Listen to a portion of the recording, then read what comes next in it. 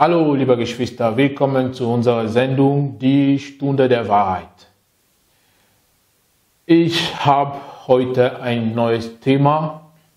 Wir hatten letztes Mal über die falschen Christen äh, gesprochen und äh, ich möchte vielleicht weiter in diese Richtung also gehen. Trinke mal ein bisschen Wasser, bevor ich also die ganze Zeit nur mache. Also, mit dem Herrn Gnade ähm, werden wir also das Thema, also ein neues Thema heute anfangen. Wisst ihr, ähm, ich habe die letzte Zeit versucht, also mit äh, ein paar Geschwistern, also sogenannte Geschwistern auch im Internet, ähm, über Facebook oder über Instagram, ähm, hier in Deutschland äh, über, der, über Joshua zu reden, über die verschiedenen Themen, also die wir heute ähm, erleben, wie zum Beispiel ähm, dieses Thema, also ähm, das Thema über Rassismus. Ähm, ich finde ich finde es also richtig schade, dass es äh, trotzdem noch Leute gibt, also die ähm, einfach nicht verstehen, also was, was genau, was genau bedeutet, also ein Christ zu sein.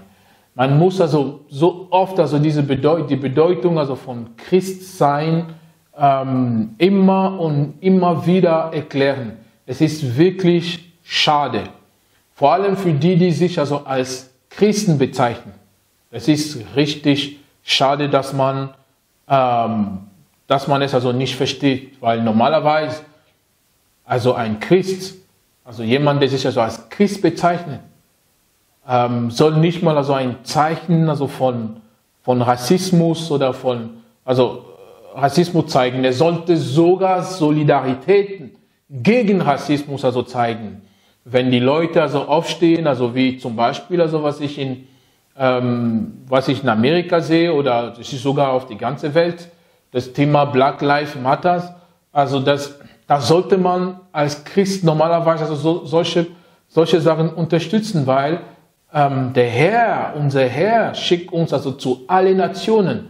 Und wenn ein Christ also sieht, dass eine bestimmte ähm, Völker oder eine bestimmte Gruppe oder, oder äh, äh, bestimmte Hautfarben also irgendwie vernachlässigt also werden, wegen ihrer, ihrer Herkunft oder ihrer ähm, Genau, also wegen ihrer Herkunft oder, oder Hautfarbe, da sollte man also irgendwie aufstehen. Da sollte man also schon dagegen auch kämpfen, also die Solidarität gegen, also für die Leute, die dagegen kämpfen, zeigen. Aber ich finde es also richtig, richtig schade. Nehmen wir zum Beispiel, nehmen wir ähm, in Matthäus, das Thema in Matthäus, ich möchte gerne also etwas heute erklären, äh, bevor ich also das vertiefe, möchte ich also kurz beten. Herr, leite mich bitte. Ich bete, dass dein Wort, nur dein Wort kommt, Herr. Bitte gib mir die Weisheit und gib mir deine Worte. Im Namen Joshua Mashiach. Amen. Also, wir sind in Matthäus Kapitel 28. Matthäus Kapitel 28, da steht ab Vers, ähm, ab Vers 19, da sagt also Joshua Mashiach, geht nun hin und macht alle Nationen zu Jünger und tauft sie auf den Namen des Vaters und des Sohnes und des Heiligen Geistes. Das ist also Vers 19. Hier sagt uns Joshua Mashiach, das ist sein Wort. Er hatte also zu seinen Jüngern gesprochen. Und da sagte er, geht hin zu allen Nationen. Was sind das überhaupt, die Nationen? Es gibt so viele Nationen also auf dieser Welt. Was macht überhaupt, was ist also der, die Bedeutung also von Nationen? Nation, was, was sieht man überhaupt in einer Nation? Eine Nation Nationen sind, sind ähm, Leute, also es gibt, sind also äh, Leute, die eine bestimmte Sprache haben, bestimmte Kultur haben, bestimmte Art und Weise, also wie, wie sie leben und ein bestimmtes Gebiet, Ort, also haben. Das sind also Nationen. Und hier, wenn der Herr sagt, also geht über, was sagt er? Geht geht nun hin und macht alle Nationen, das heißt also, da geht alle Nationen, wir überschreiten alle Grenzen, wir gehen über die Grenzen, die, die, die diese Welt, also äh, die, die, die diese Welt einfach sehen, die, die Grenzen, die wir sehen. Zum Beispiel zwischen Frankreich und, und, und Deutschland. Das sind also zwei verschiedene Nationen, die eine bestimmte Sprache haben, bestimmte Regeln, bestimmt und, und, und, und, und auch eine Grenze haben. Aber da geht man also über diese Grenze. Man versucht also die Leute, man geht also zu den, zu den Leuten. Und was gibt auch noch? Also äh, Nationen, also in Afrika gibt auch noch Nationen, also Leute, die, also Kontinenten. Es gibt so viele Nationen auf dieser Welt mit verschiedenen Sprachen, verschiedene Hautfarben, verschiedene Kulturen, alles. Der Herr schickt uns zu alle Nationen. Wisst ihr was? Warum ist es so? Weil Gott die Menschen sieht. Er sieht nicht also diese Hautfarbe, Augenfarbe oder sowas. Er sieht das nicht. Er sieht die Menschen. Weil normalerweise also diese Begriff, also Rassen und so, es gibt nur eine Rasse normalerweise. Geht zu alle Nationen, alle Menschen. Und da steht man einfach fest, also dass diese, die, die, die Gemeinden, die ich also heute sehe, und, und ja, es ist schön, wir sind vielfältig und so weiter, aber es gibt so, wir, bauen selber Mauern zwischen verschiedene, verschiedene äh, Gemeinden. Ah, das ist die Gemeinde für die, das sind die afrikanische Gemeinde, das ist die deutsche Gemeinde. Ja, okay, die Sprachen ähm, können also die verschiedenen äh, Gemeinden, aber ich erzähle mal etwas. Also ich war einmal in einem, äh, als ich Christ geworden bin, ich bin Christ hier in Deutschland geworden. Ähm, dann bin ich, dann bin, bin ich in eine Gemeinde gegangen. Aber bevor das bin ich erstmal also allein gewesen zu Hause. Ich habe angefangen also die Bibel zu lesen. So viel Zeit also mit dem Herrn verbracht. Ich hatte keine einzige Gemeinde besucht. Gar nicht. Monatelang habe ich also die Bibel, ich hatte mich mit, mit der Bibel befasst, einfach gelesen, weil Joshua mein Herz berührt hatte. Und ich war ich, es hatte mich so gefreut, also ich wollte, ich, plötzlich, irgendwann mal wollte ich also, also Geschwister, Christen auch treffen. Da bin ich also in eine Gemeinde gegangen, als äh, eine Gemeinde, also eine deutsche Gemeinde. Bin reingegangen, in diese Gemeinde gab es also fast, also es gab keine einzige Schwarze. Ja, okay, ich bin in einer kleinen Stadt und, äh, ähm, aber es war, es war so. Ich bin also in diese Gemeinde reingegangen. Ich hatte mich so gefreut, also Christen zu sehen. Christen zu sehen. Für mich war das also überhaupt, es, es war egal, ob ich das so weiß oder ich, ich hatte mich so gefreut, Geschwister im Herrn zu sehen. Und es gab Lobpreis, Predigt war schön, super, alles. Nur zu, zu hören am Ende, dass jemand, also da kam jemand also auf mich zu und sogar die, die, die sogar Pastor und die, die, die, die Geschwister dort, die sagten, ja, weißt du, es gibt also eine Afrika. Wo kommst du her? Ja, ich bin ursprünglich also aus Afrika, dieses Land, bla bla bla. Ah, okay, weißt du was?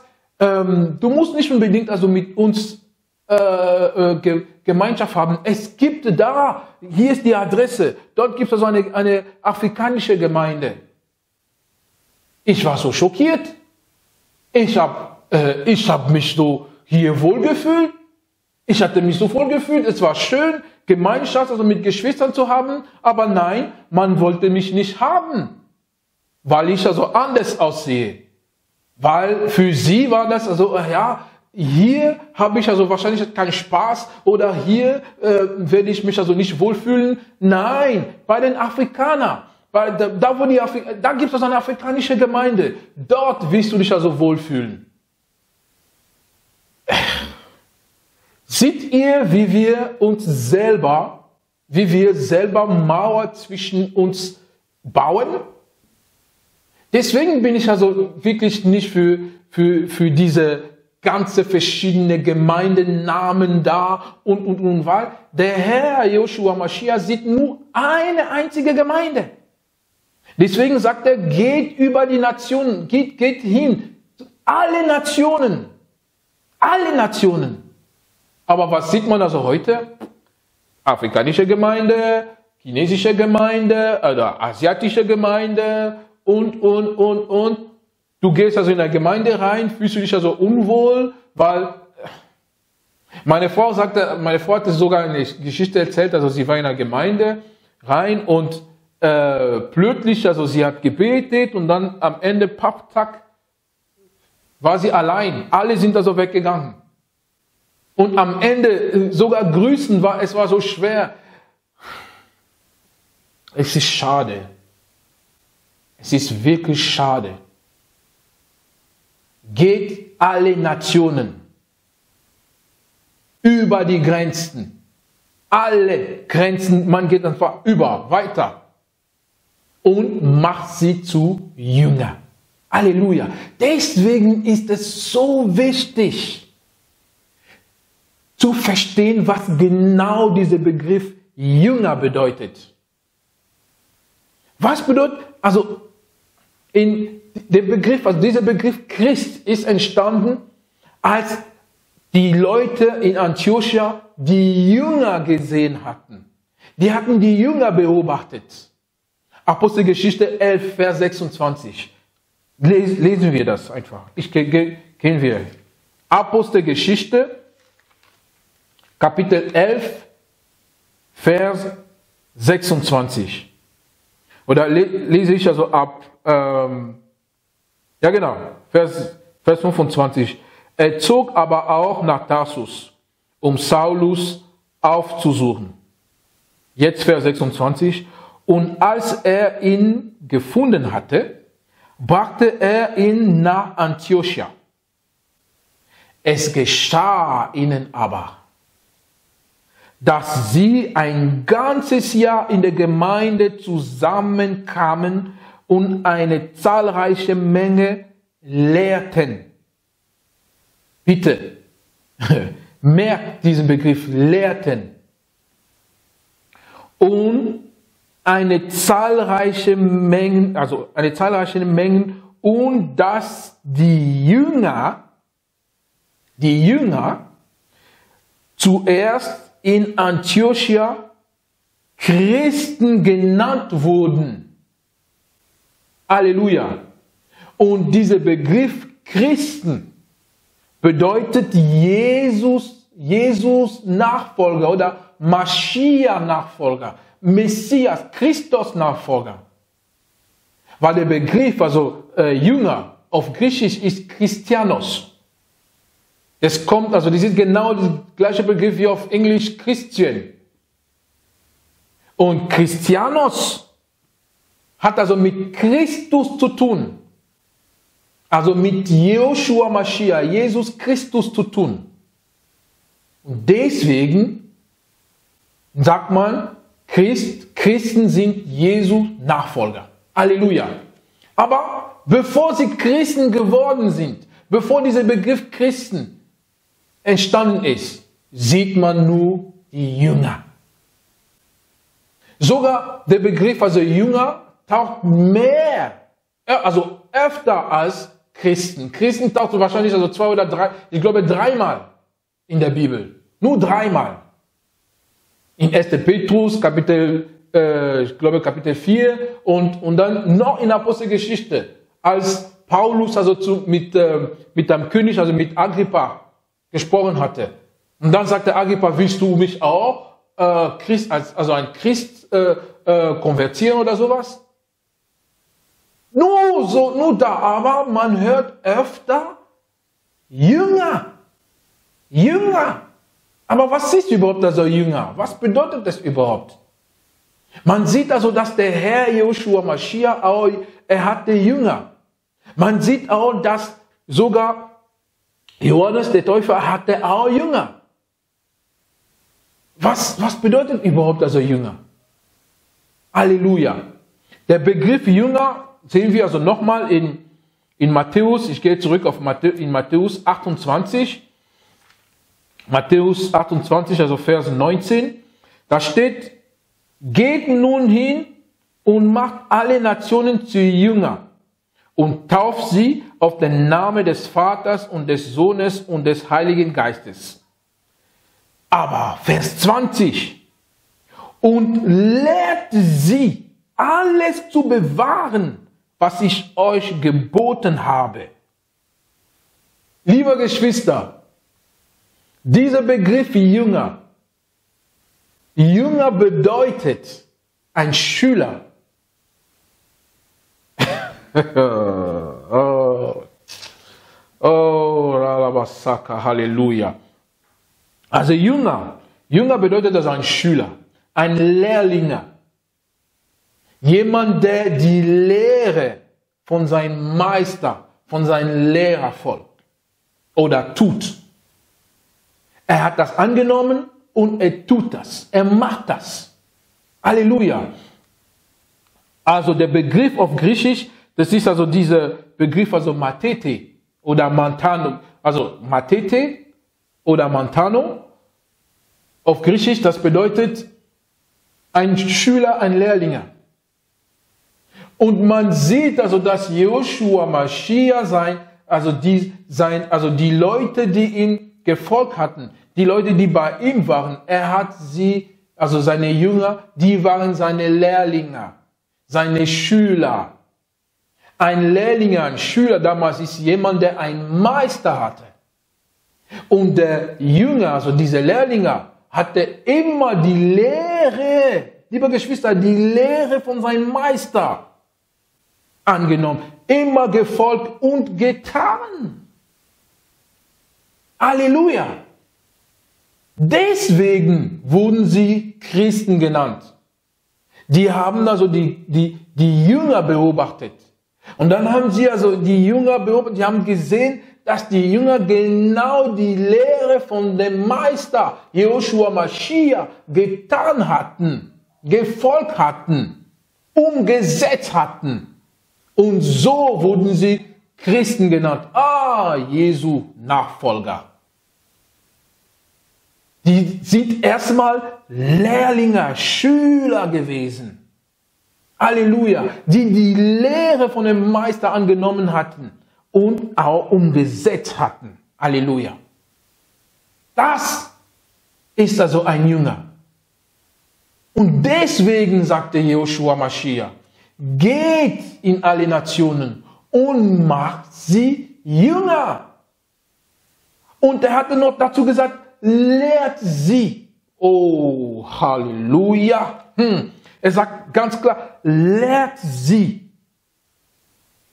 Alles, nicht nur ein, ein kleines Teil, alles zu bewahren, was ich euch gelehrt habe. Wenn man also über alle Nationen geht, wie kann, wie kann ein Christ, wie kann ein Jünger Joshua Mashiach Probleme mit anderen Nationen, Probleme mit anderen Hautfarben, Probleme, was soll denn das? Ein Christ nimmt also seine Geschwister er nennt sie alle Geschwister. Egal, ob man also, ob, ob man ein Araber ist oder ob man also aus, äh, keine Ahnung, oder schwarz, dunkel, richtig schwarz, weiß und ein Christ, ein Jünger Joshua Mashiach. Er geht über, über diese Grenzen. Halleluja. Er zeigt die Liebe Halleluja. Weil ich habe also Sachen hier erlebt und das, da muss man also die Wahrheit sagen. Diese Sendung heißt also die Stunde der Wahrheit. Es geht um die Wahrheit. Ich habe das so oft erlebt. Da kommt also jemand auf dich zu, sogar, sogar Christen. Ja, weil, weil ich also, ich habe sowieso bemerkt, ich bin, äh, ich bin nicht ursprünglich also aus Deutschland, ich habe die Sprache hier gelernt. Ich mache so viele Fehler. Ich mache so viele Fehler in Grammatik und Akkusativ, Dativ. Oh, das ist nicht einfach für, für, für, für, äh, für einen Ausländer. Aber ich habe gelernt, die Sprache, ich habe die Sprache gelernt und, und damit, damit ich mich also mit Leuten also hier in Deutschland äh, ja, kommunizieren kann. Und der Herr Joshua Mashiach gibt mir nur die Gnade, in diese Sprache auch zu predigen. Halleluja. Aber oft, da sprichst du also mit Leuten, also da machst du also ein, zwei, drei Fehler und, und, und dann wirst du überhaupt nicht ernst genommen. Sofort merkt man das. Weil derjenige, der denkt, also weil der denkt, dass er die Sprache besser kennt, er stellt sich also sofort über. oh, Halleluja. Sogar, es gibt sogar, ich habe Geschwister, die nicht so gut also sprechen also wie ich. Ich habe einige, die reden noch, die sind noch besser. Die können also die Sprache, die beherrschen die Sprachen so gut. Aber man merkt sofort, okay, derjenige, der so gut spricht, also will sofort, äh, wie sagt man das, also er stellt sich also schon über den anderen. Ich, ich erinnere mich, also da war so, so ein Kerl, er kam in die Gemeinde und, und konnte also die Sprache, er sprach wirklich also wie ein Buch. Aber, aber da, das ist nicht das Wichtigste. Das Wichtigste ist also die Liebe zu Joshua Mashiach.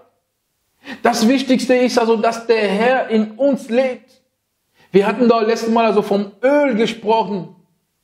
Die Bibel sagt, wer das Öl auf seinen Kopf hat, der wurde ausgesondert. Ausgesondert von Joshua Mashiach. Das Öl ist also das Zeichen, das ist also ein Bild vom Heiligen Geist. Also die Kinder Joshua Mashiach sind alle, die diesen Heiligen Geist bekommen haben. Die Jünger Joshua Mashiach, die sind die, die den Heiligen Geist bekommen haben. Die seine Lehre annehmen und seinen, ein, sein Wort folgen. Die sehen keine Rassen mehr. Die sehen also keine, diese großen Unterschiede mehr. Okay, du sprichst gut oder du sprichst so oder so. Das ist nicht wichtig. Die Liebe Joshua Mashiach geht über diese Grenzen. Geht über. Aber das Problem, das Problem ist also, dass es gibt auch viele, die nicht mal also Jünger Joshua Mashiach sind. Die sind in, in irgendwelche, wie sagt man das, also Vereine angetreten. Die sind, viele Gemeinden sind also heute Vereinen geworden.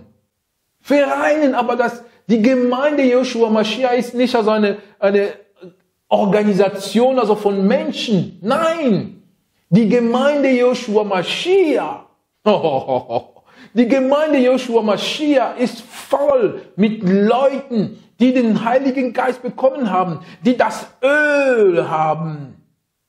Die Jünger Joshua Mashiach. Es gibt Leute, die sind also Jünger von Menschen. Die sind Jünger von irgendwelchen Menschen. Wenn diese, wenn diese Menschen also so laufen, dann laufen sie genauso. Wenn diese Menschen also so reden, dann reden sie genauso. Nein, hier geht es um Jünger von Joshua Mashiach, Jesus Christus. Er sagt ganz klar, lehrt sie, alles zu bewahren was ich euch geboten habe. Das heißt also, die Jünger, die Lehre, die sie bekommen haben, die sollten das also weitergeben. Und das über alle Nationen. Über alle Nationen. Bist du ein Jünger Joshua Mashiach oder von einer Gemeinde oder von einem Pastor? Es gibt Leute, die sind, die sind Jünger von dem Pastor, aber nicht von Joshua Mashiach. Ein Jünger ist bereit, alles aufzugeben, seinem Meister zu folgen. Nur sein Meister. Wer ist unser Meister? Joshua Mashiach. Joshua Mashiach. Soll ich euch also ein paar, ah, ne, ne, nehmen wir Lukas. Ich habe einen Vers gerade. Dankeschön. Halleluja. Lukas Kapitel, sagen wir Lukas Kapitel 6. Genau, Lukas Kapitel 6. Steht was dort. Es ist ziemlich hart. Nee, erstmal Lukas Kapitel 14. Genau, Lukas Kapitel 14. Kapitel 14. Lukas Kapitel 14. Halleluja. Nehmen wir ab Vers, Vers 26. Lukas Kapitel 14, Vers 26. Da steht, wenn jemand zu mir kommt und hasst nicht seine, seinen Vater und die Mutter und die Frau und die Kinder und die Brüder und die Schwestern, dazu aber auch sein eigenes Leben, so kann er nicht mein Jünger sein. Wow. Jünger von einem Mensch, Jünger von einer äh, Konfession, Jünger von einer Gemeinde, Jünger von, von, keine Ahnung, von Papst oder Jünger von kein, aber Jünger von Joshua Mashiach, es ist kein Spiel. Es ist kein Spiel. Hier dieser Begriff, also hassen, hat, hat nicht also mit, mit äh, zu tun, dass, dass man also die Leute keine Liebe zeigen, also Hass. Nein. Es geht darum, Joshua Mashiach als allererste Stelle zu setzen. Dass er die erste, diese erste Stelle bekommt. Und dann kommt der Rest. Joshua Mashiach. Joshua Mashiach. oh, ich bin ein Jünger, ich bin ein Jünger, ich bin ein Jünger. Bist du ein Jünger? Sind wir wirklich Jünger von Joshua Mashiach? Deswegen hatte ich also letztes Mal diese Frage gestellt, sind wir wirklich alle Christen? Sind wir Christen? oh Herr, du bist so wunderbar. Oh Joshua Mashiach. Also jetzt Vers 27. Und wer nicht sein Kreuz trägt und mir nachkommt, kann nicht mein Jünger sein. Halleluja. Viele haben das also falsch verstanden. Viele, also vor allem also die, die, ja, ich, ich nenne nicht mal also diese, diese Kirche hier. Also die, die, die dachten, die haben verstanden, okay, wer nicht sein Kreuz trägt, dann haben sie also so, so eine Kette, da gibt es also ein Kreuz und die bezeichnen das, weil sie diese Kette tragen, tragen sie ihr Kreuz. Und so wollen sie also sagen, dass sie Christen sind. Nein! Christus hat gelitten. Er hatte sein, dieses Kreuz getragen, dies, das Leiden, um damit, äh, das Ganze zu erfüllen, damit wir gerettet werden. Er meint hier das Leiden als Christ. Nicht, dass man also die Prozession oder sowas macht. Nein!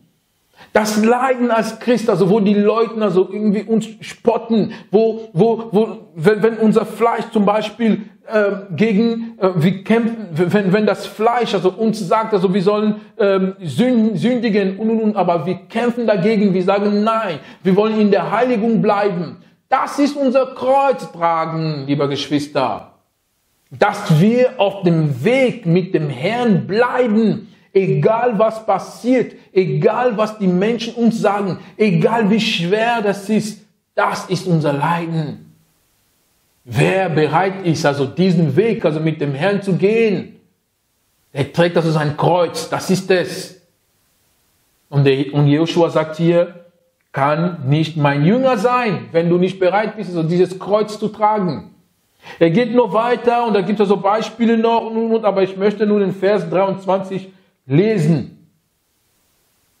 Lukas 14, Vers 23, da steht, so kann nun keiner von euch, der nicht allem entsagt, was er hat, mein Jünger sein. Halleluja.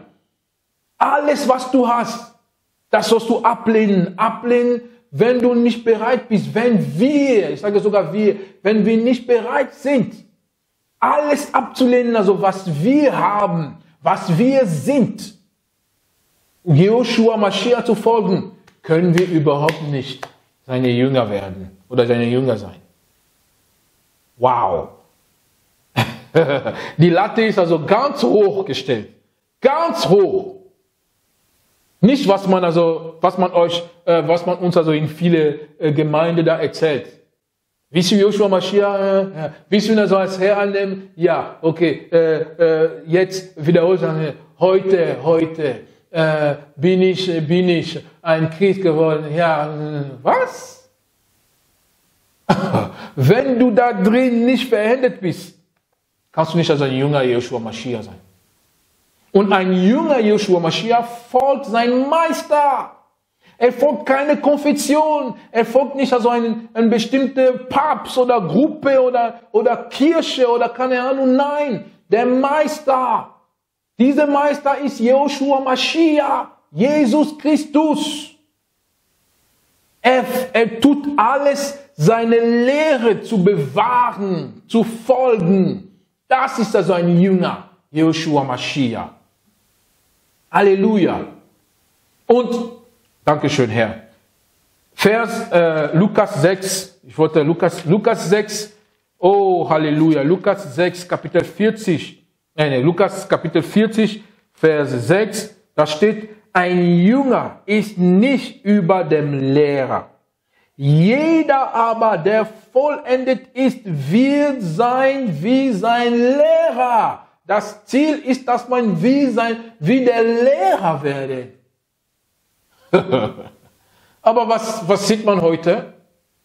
Weil der Pastor oder der Priester oder Pfarrer sich also so kleidet, ja, die Jünger, die Jünger, die machen so. Weil er so redet, man spricht auch so. Weil er so und so und so tut, dann tut man das.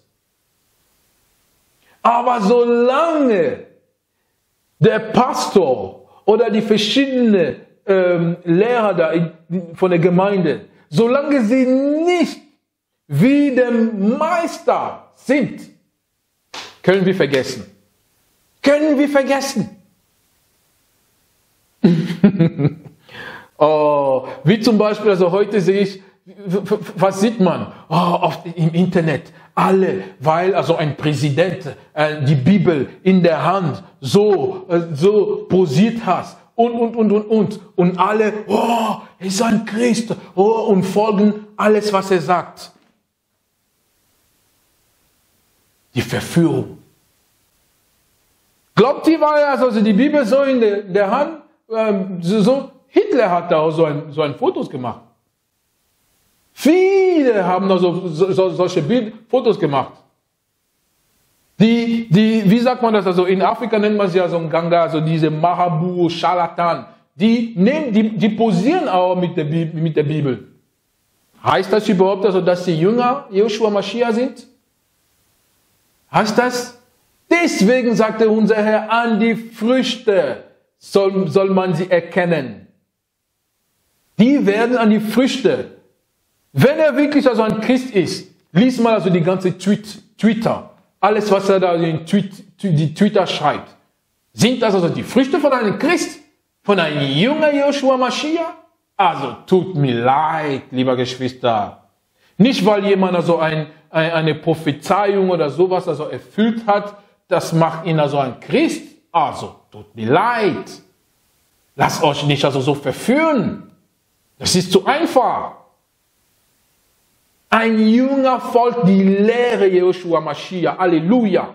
Das, das wollte ich also heute, heute geben. Ich will nicht also lange darüber äh, sprechen, aber deswegen werden wir jetzt gewisse Lehre geben, damit die Jünger Joshua Mashiach aufstehen und sich vorbereiten.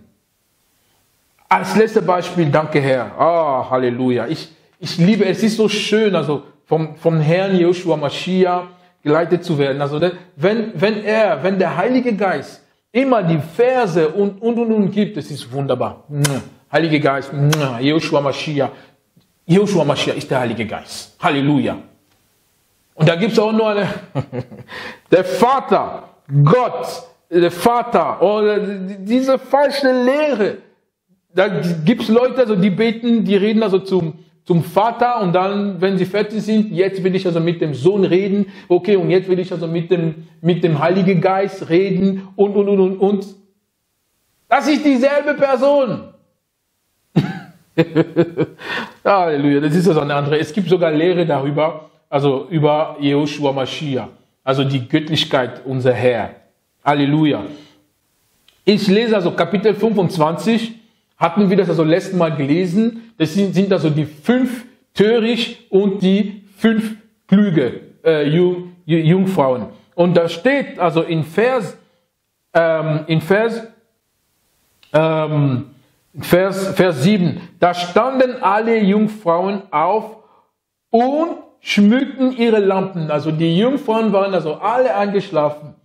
Alle sind eingeschlafen. Aber dann gab es also eine Stimme. Die Stimme hatte geschrien. Die Stimme hatte geschrien. Der Bräutigam ist da. Diese Stimme schreit gerade noch und sagt, hey, der Bräutigam ist da. Steh auf. Die sind alle aufgestanden. Die sind alle aufgestanden und in Vers, und, und dann aufgestanden und schmücken ihre Lampen. Die Zeit ist gekommen, dass wir unsere Lampen schmücken. Wir, Kinder Joshua Mashiach.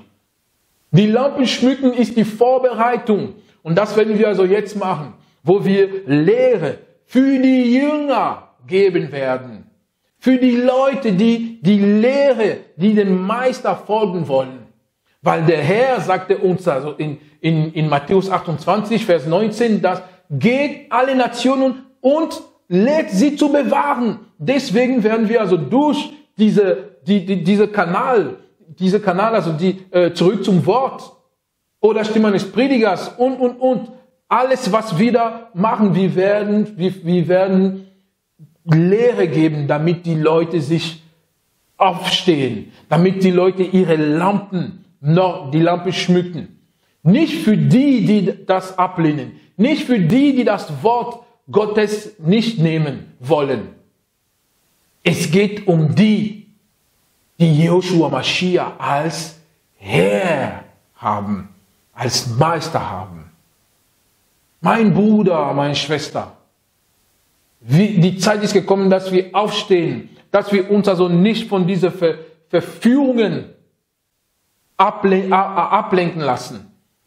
Dass wir, die, die, es gibt Leute, die verbringen so viel Zeit in Facebook, in Instagram und äh, in YouTube und oh, hören also nur ein Schmarrn.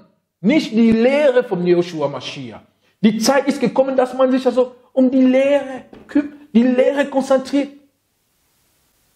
Damit wir unsere Lampen schmücken. Die, die das Öl haben, müssen jetzt die Lampen schmücken. Die, die kein Öl haben, es gibt noch Zeit. Geh schnell hin und hol dein Öl. Und wird also ein Jünger Joshua Mashiach. Werdet also ein Jünger Joshua Mashiach. Ich danke euch im Namen Joshua Mashiach, Jesus Christus, unser Herr. Er ist unser Meister. Ein Jünger folgt sein Meister. Und unser Meister ist Jesus Christus. Joshua Mashiach. Halleluja. Ich danke euch im Namen Joshua Mashiach. Amen.